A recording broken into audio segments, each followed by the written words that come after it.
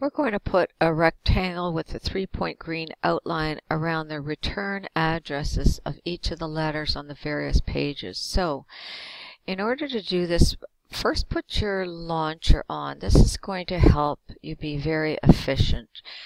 And we haven't done very many shapes other than the one poster day. So we're going to go to Insert Shapes and uh, click Rectangle and this is our return address right here.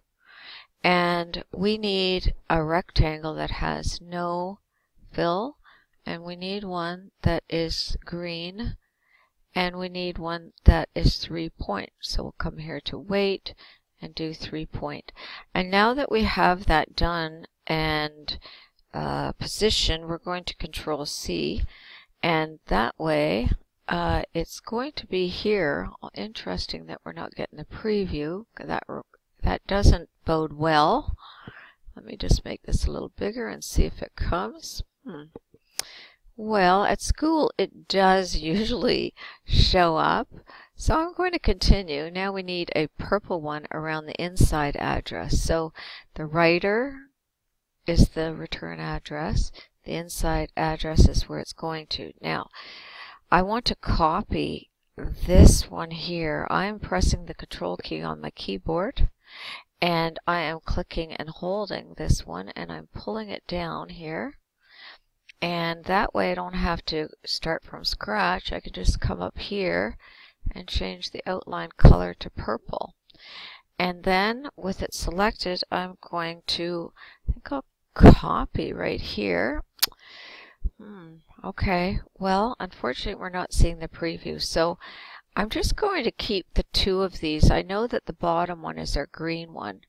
I'll come back and do the other ones later, but I'm going to come down here and just click on this page and click this one. I get the green one that goes around the return address. In this case, it's an actual letterhead looking thing at the top that's probably pre-printed and uh, this one here should be our purple because it was the they the most recent one is at the top.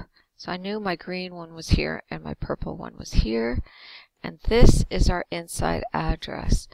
And I would just keep scrolling down clicking on the page but not on don't click on the this actual image. Okay just click on the page Click the first one, you'll get the green box.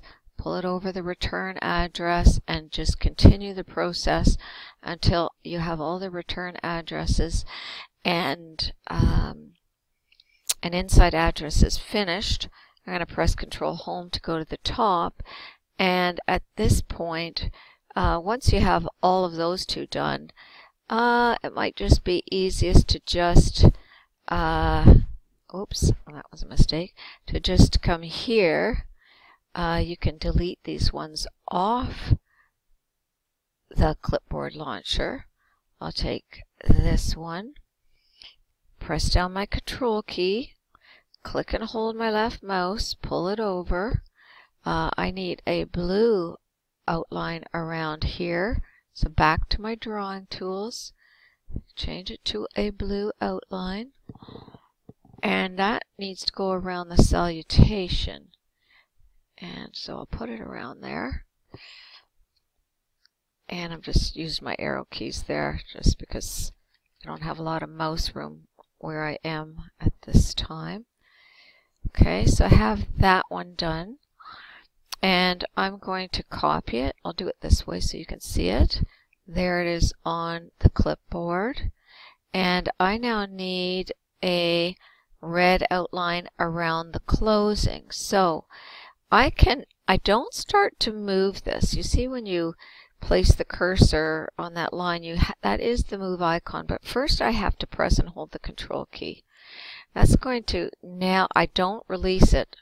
I press and hold my left mouse button and I pull it down and then I release my mouse button first and then I release the control key and this way and use my arrow key down back to the drawing tools change this one to red and I'm it's selected. I'm just going to copy it. The red one is going to go at the top.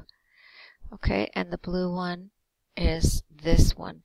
I've never had a problem at school. We usually see these, so I'm not sure. I guess at home it's a little bit different. But that's how you can do those quickly and just get used to the idea that the top address, which is the address of the writer, is called the return address. Uh, the person it's going to, the recipient, that's the inside address. This is your salutation, and this is your complimentary close.